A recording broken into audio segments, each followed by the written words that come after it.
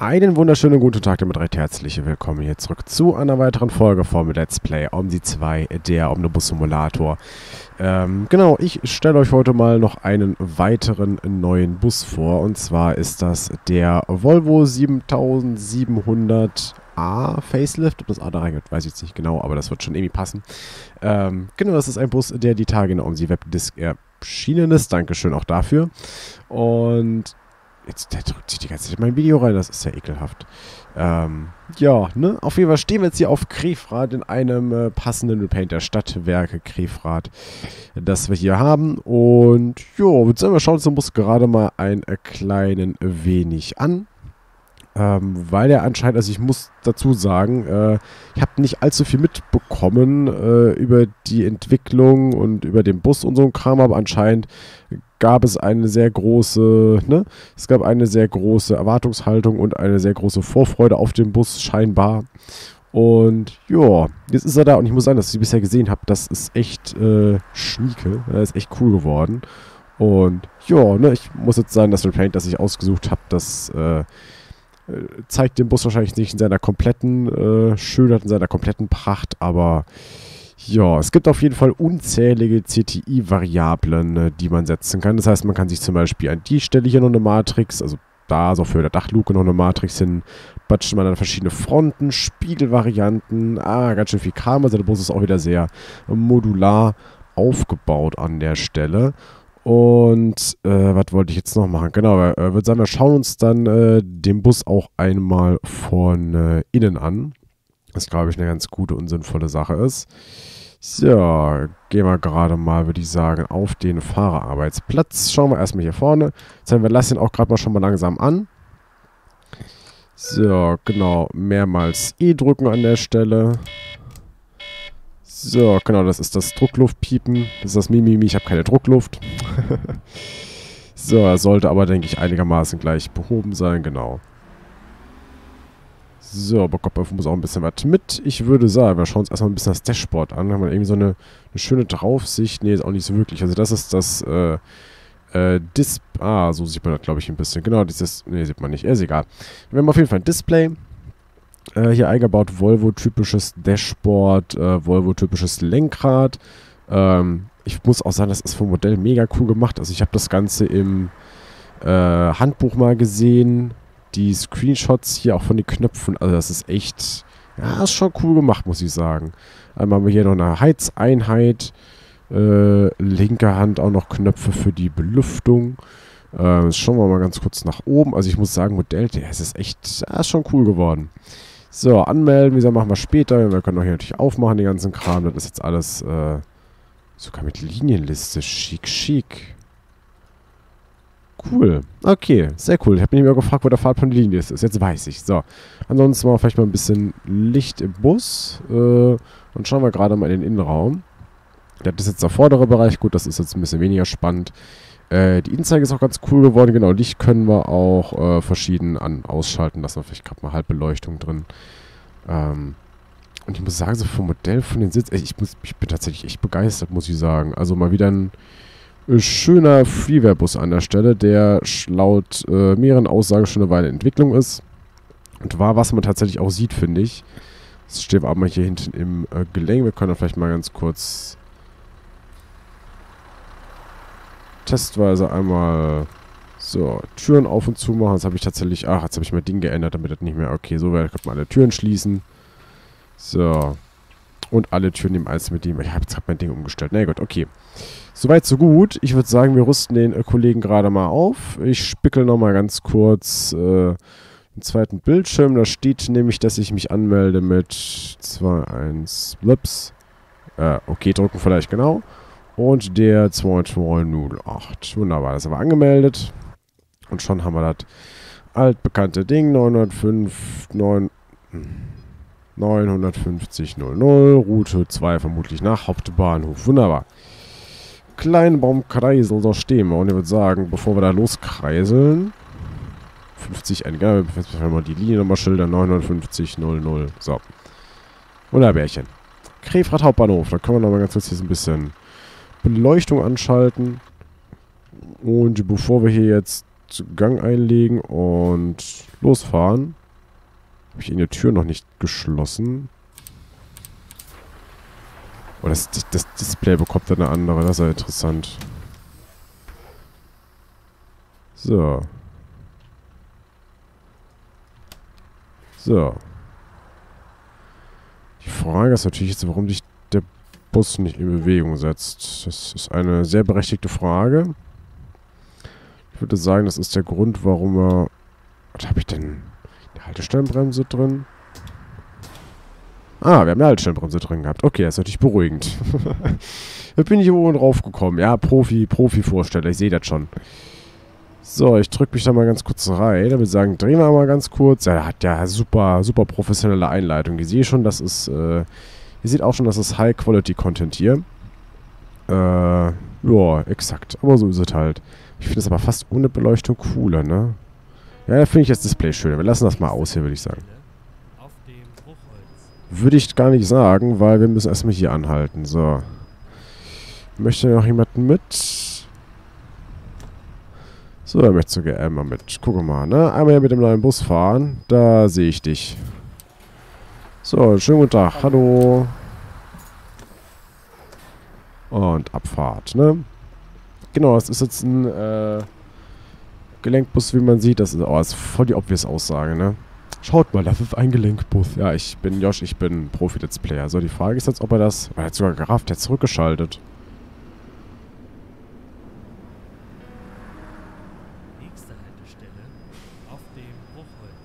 Ja, mega cool. Okay, ich bin begeistert.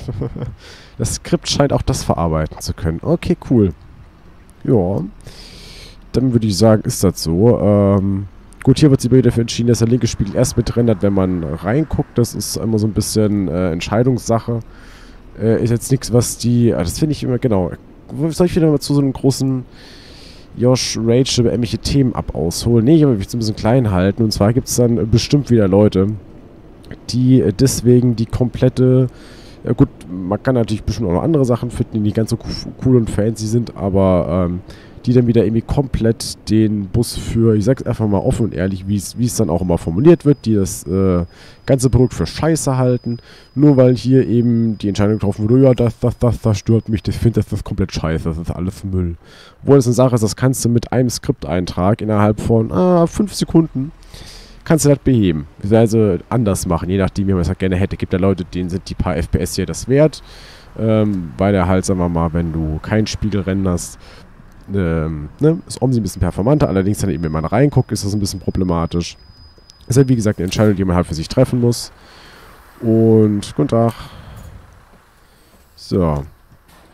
Oh, da jetzt dann bestimmt wieder die Spezialisten. Aber es ist halt was willst du machen, ne? Das ist halt die, die Konstruktivität. Einfach, ne, also wie konstruktiv Menschen halt sind. Constructiveness, Gedöns und so.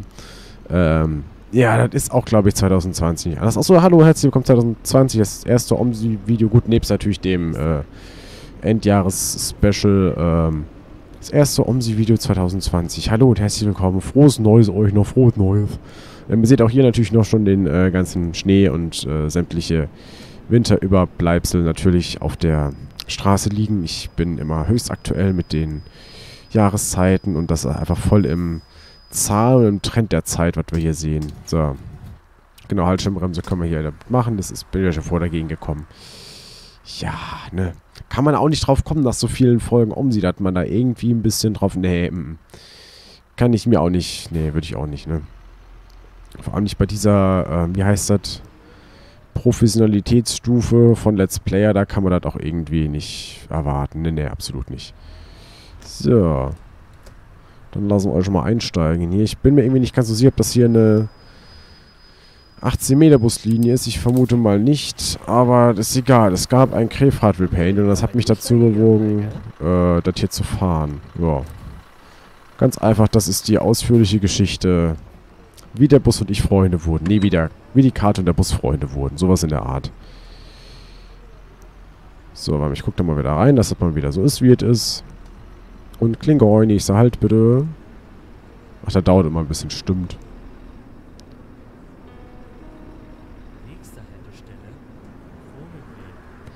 er schaltet das immer weiter und dann dauert es aber noch einen kleinen Moment, bis das bis dann wirklich die Ansage kommt, finde ich aber ehrlich gesagt ganz cool, weil beim, also Gefühl kommt für mich, kommen die Ansagen um sie immer so einen kleinen Ticken früh, also ne, beim normalen Skript ist es ja auch so, dass wenn du dich vom alten Haltestellenbereich entfernst, dass es dann eben entsprechend deswegen die Ansage triggert.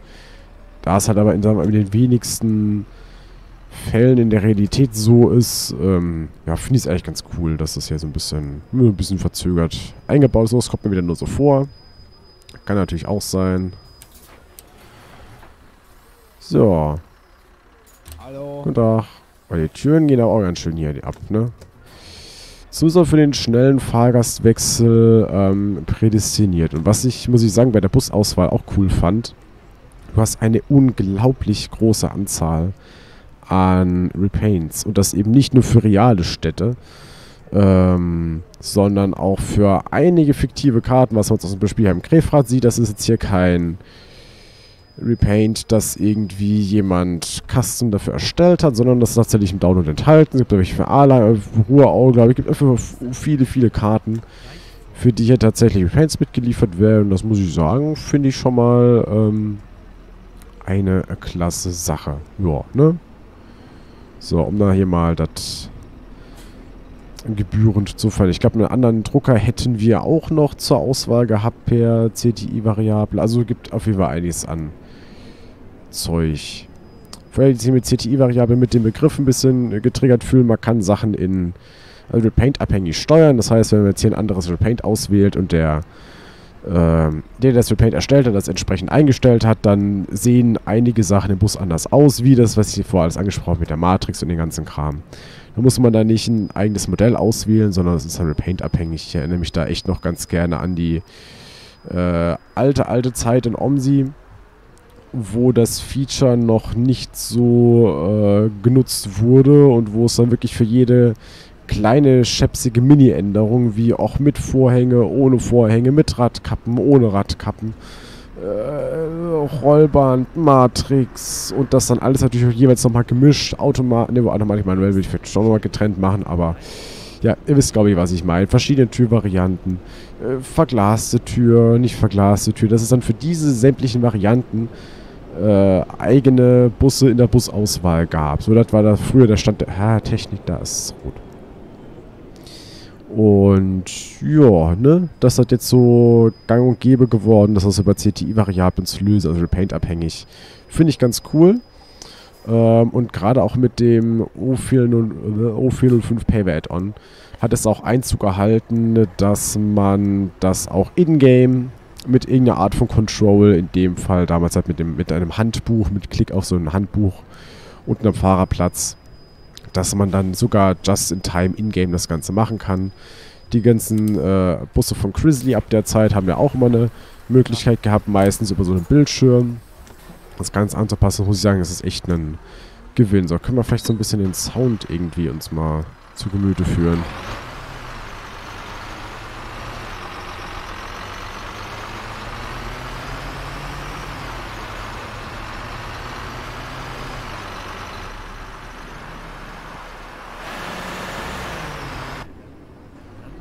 Vorne bekommt man da nicht so viel mit. Habe ich jetzt irgendeine schöne Sicht von... Das finde ich... Ach, das ist eine sehr coole Sicht, muss ich sagen. Jetzt alle Lichter aus. Ja, mega. Nehmen wir lieber das hier an, so.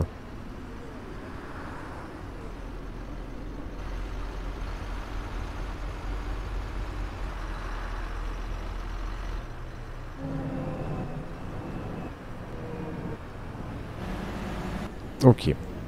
Gut, hätte man es auch mal irgendwie so grob abgefrühstückt. Ich muss so schauen, dass ich hier nicht irgendwo irgendwo rausfahre. Ach, das ist immer so eine kritische Stelle. Äh, hätte ich vielleicht drauf achten können. Ich hätte da vorher mal so einen Ticken langsamer fahren oder irgendwie... Äh, ja. Bitte beachten Sie, dies kann wie immer einen guten Anspruch nehmen. An dieser Stelle werden in der Regel recht häufig die AI-Daten geladen. Ja, und ich habe nun Zeit, Ihnen äh, unser neues Angebot präsentieren zu können. Rufen Sie jetzt an unter der... Ja, es geht schon wieder weiter, ich weiß. Und sichern Sie sich fünf Monate zum Preis von sieben unser aktuelles Neujahresangebot für neue Bestandskunden. Jeder kann profitieren. Ja, So in der Art. Komm. Das haben wir auch mal erledigt hier. So, da will auch niemand aussteigen. Ach, guck mal, da können wir sogar durch. Wir haben nämlich so ein bisschen Zeit auf der Uhr gerade. Ich glaube, die wäre ganz schön, wenn wir da ein bisschen durchfahren. So, schaltet mal weiter. Das ist auch smart. Äh, ist leider für die nächste Karte in der E-Verkehr, weil wir so durchgerusht sind. Ja, gut. So, dann sind wir wieder Zeit für eine kleine Produktion. Ne, gut, Produktinformation, ich speichere mal ganz kurz. So. Wenn er das nochmal abschmiert, dann können wir zumindest hier starten. Äh, warte mal, ich glaube, wir müssen abbiegen. Ich glaube, ab jetzt bräuchte ich vielleicht leichte Unterstützung. Äh, mit unseren kleinen digitalen Helferchen. Ein bisschen ist es noch einigermaßen nachvollziehbar vom Linienweg her, aber ach komm.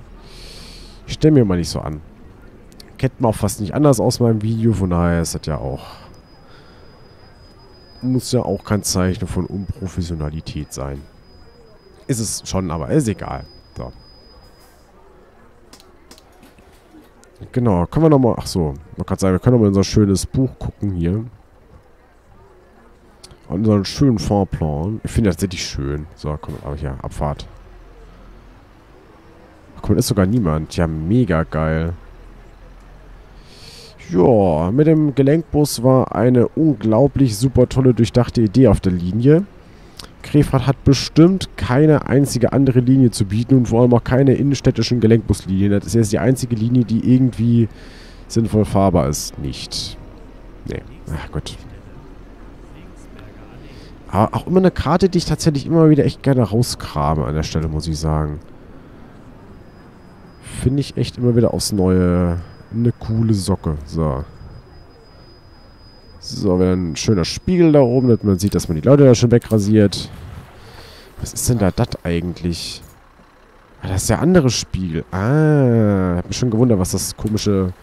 Das ist das komische Dingens da. Das ist tatsächlich der andere Spiegel. Okay. Habe ich dann wohl verstanden. Und das war schlecht angefahren, aber... Ja, professioneller Fahrstil. Äh, wird auch auf jeden Fall groß geschrieben, zumindest wenn es am Satzanfang steht. Fahrstil zwar immer, aber gerade das mit dem professionell, das schreibt man dann groß am Satzanfang steht und deswegen kann man äh, in der Tat sagen, professioneller Fahrstil wird bei uns groß geschrieben, vor allem wenn du den Satz irgendwo hinschreibst, dann macht das Sinn. Also kannst du eigentlich also mit dem Nebensatz wird bei uns groß geschrieben, ist kein Nebensatz, ist egal, wird bei uns groß geschrieben, äh, kann man eigentlich wenn man da hinter irgendwas dran schreibt, stimmt das eigentlich immer, weil das davor ich dann immer groß schreibe, weil es dann am Anfang von einem Satz ist. Krasses, krasses Ding. Okay. Also wenn ihr mal irgendwie noch einen schönen Satz für eure Firma braucht, für eure Firmenwebsite oder für was auch immer ihr da irgendwie entwickeln wollt, meinetwegen für euren YouTube-Kanal, ich lasse mir das nicht urheberrechtlich schützen, ähm, könnt ihr gerne... Achso, ich muss die Tür aufmachen. So, die tut auch nochmal auf hier. So. Ich hatte mir so extra noch eine schöne Taste dafür belegt. Jetzt habe ich dann allerdings nochmal das Ding hier durchgewechselt. Meine Tastenbelegung. Ich will einen Fahrschein haben hier. Einzelerwachsen. Drei. So. Äh, ah, oh. Mm, das liebe ich ja. Kassen finde ich super. Also 10 und 5. 5 kann ich nicht. Warum kann ich keinen 5-Euro-Schein rausdrücken? Sie haben mir zu wenig Rückgeld Ja, gegeben. dann kriegst du halt... Ich glaube, eine. 3? Achso, das sind 2. Hä? Oh nee. Moment, ist das Mapping auch... Ach, das ist D-Mark. Oh, nee. Haben Sie vielleicht auch Scheine dafür? Nee, hab ich nicht. Oh. Wir haben D-Mark. Mist. Okay. Ja, gut, ich hab's verstanden. Das war jetzt... Das war so, wie es ist.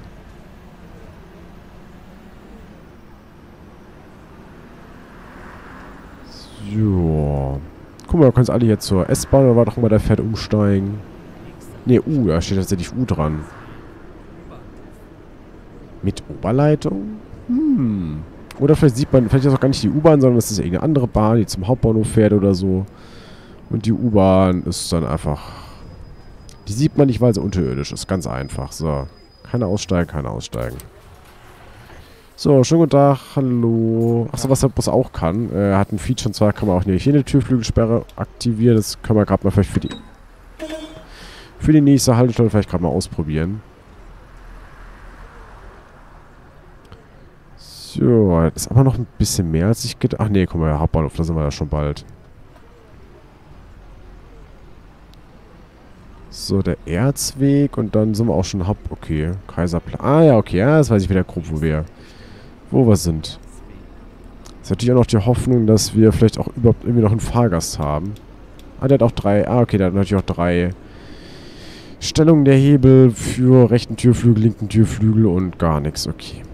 Ja, das sind super Sachen. Das habe ich, glaube ich, schon mindestens fünfmal erzählt. Finde ich super. Türflügelsperre ist ein... Äh, ist ein richtig geiles Ding. Eignet sich vor allem richtig gut für große Fahrgastmassen. Und pünktliche Ankunft, das ist eine Kombination, die auf jeden Fall immer sehr gut funktioniert und von den Fahrgästen auch super angenommen wird. Am besten noch kombiniert mit klirrender Kälte draußen. Wobei, da kann ich das fast wieder nach, nachvollziehen.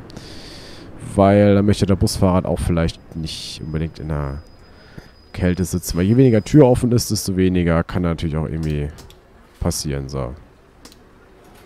So. Okay, man muss die Haltestellenbremse mit Türfreigabe drücken und nicht das andere. Snackt ihm einfach meine Fahrgäste weg. I see you. Nicht? Doch, ich sehe ihn. Da ist er. Ja, wo ist er? Naja, gucken wir mal. Vielleicht kriegen wir den sogar noch. Ich glaube jetzt da nicht unbedingt dran, aber... Ich kann auch schon mal langsam... Jetzt müssten wir der Logik nach gleich grün kriegen, weil schon die Fußgänger hier rot haben. Vielleicht noch den Linksabbieger von drüben. Nö. So, Blitz. Nee, ich sehe schon.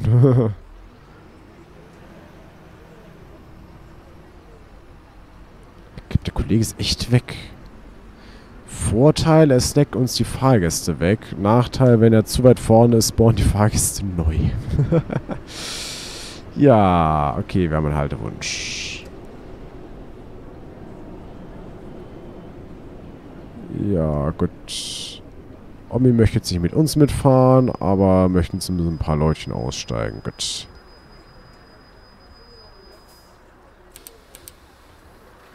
So, können wir den Spiegel benutzen? Ja, waren gar nicht viele. So, die Jagd auf den Kollegen beginnt weiter. Nur weil er weniger einen fancy Bus hat als wir, da muss er natürlich jetzt hier nicht denken, dass er einfach so da fortfahren kann. Wobei, doch kann er wahrscheinlich schon. Weil jetzt aber nicht unbedingt an seinem Bus liegt, ne? Wir kommen auch gut von der Stelle, wenn wir wollen. Babs. Das sieht so aus, als ob wir mega das Schiff fahren würden, ne? Muss irgendwie ein skandinavischen Bus liegen. Ich weiß auch nicht warum. Äh, boah, Insider. Ja. So, jetzt will gar keiner mit uns mit. Ich hätte gerne unsere Türflügelsperre nochmal demonstriert. Nee. Ach, ist egal, komm. Wir werden, glaube ich, das, das Leid werden wir, glaube ich, irgendwie überleben können. Ja, wow. Gut, aber wir haben jetzt nur so viel Platz, dass daher mehrere Busse ranpassen. So, dann halt keine Türflügelsperre-Demonstration heute, ne? Könnte ich da gerne beim Kollegen bedanken, den ich eingeholt habe. Aktiv. Naja, okay. Haben wir ein Fahrtende oder sowas zum Schildern? Warte mal. Wow, ach, der dreht sich mit. Okay. Huhu. Ich vielleicht in der letzten Haltestelle nachschauen sollen.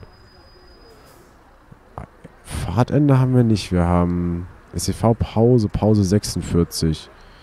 Äh, okay, ja, sowas haben wir nicht. SWG 42 finde ich gut, ne? So, Ziel 42. Stadtwerke Krefrat, da sehe ich mich. Danke, lieber Bus. So. Ja, genau, da sehe ich mich. Nächste Haltestelle. Krefrat Hauptbahnhof. Endhaltestelle. Bitte alle Es bestimmt zum Regionalverkehr der Deutschen Bahn. Wir bitten alle Fahrgäste auszusteigen. Vielen Dank für Ihre Reise mit der Stadtwerke Krefra, wir bedanken uns und wünschen Ihnen eine angenehme Re äh, Weiterfahrt oder so. Ähm, wie lange hätten wir denn Pause hier? Vier Minuten. Krasses Ding. Okay. Gut, das heißt, wir haben jetzt noch zwei Minuten Pause. Wenn wir denn zurückfahren würden, was wir natürlich äh, seriöserweise tun, weil das sehr realistisch ist. Nee. Genau, hier der faule Sack hier macht einen Dienst und ist dann mal wieder gut für den Tag. Das ist auch harte Arbeit. Das kann es auch gar nicht anders Kannst du anders auch gar nicht sagen. So, ich stehe jetzt hier richtig schön... Ach nee, ich park dann lieber hier. Jetzt richtig schön über dem Fußgängerüberweg. So. Ja, okay. Tut, was es soll, würde ich sagen, ne? Ja, gut. Macht halt das, was es soll. Das Bett ein Türflügel. Premium. So. Wenn es auch noch kalt wäre hier, dann könnte man es auch noch sinnvoll benutzen. Sind denn alle ausgestiegen? Habe ich eine Sicht nach hinten? Nee, habe ich wieder nicht. Okay. Das ist der, der, der Josh-Test. Gibt es eine Sicht nach hinten? Nee, gibt es nicht. Oh, ja, mal wahr. Fahrt. In unsere formidabulöse Pausenhaltestelle. Ist das vorne oder hinten? Das ist die erste. Okay. Krefeld Hauptbahnhof Terminus. So, ja, nee, ich könnte jetzt im Prinzip weiterfahren. Ich muss erstmal meinen Fahrplan beenden. So. Wunderbärchen, dann würde ich sagen, machen wir mal hier schön einmal eine volle Lüftung, einmal der Motor aus.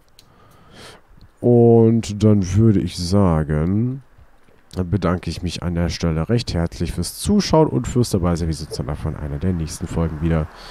Okay, was tolles Schild. Hat der irgendwelche coolen Ziele? Das finde ich gut. Da, da sehe ich uns auch. Okay. Malet gut. Ähm, ich habe für die, die es jetzt... Nee, ich finde das selber raus, was ich eingegeben habe. Muhaha, nein, man kann da Linie 98 zum Beispiel eingeben. Da kommen da fancy Sachen. Das ist 99, wahrscheinlich Matrix-Test, oder? Der kann das gar nicht. Okay. 97? Finde ich, das finde ich auch geil. Da sehe ich mich auch. Okay, so viel kann da jetzt nicht. Gut, okay. Und manchmal ist er bei den 80ern auch ein bisschen was dabei. Nee, okay, der hat nicht so viele fancy Matrix-Dinger. Okay, dann sehe ich mich ja bei der 98. Ähm, ich bedanke mich fürs Zuschauen. Bis zum nächsten Mal. Äh, tschüss. Das ist ja mega cool mit dem Verspätungsteil. Geil. Äh, tschüss.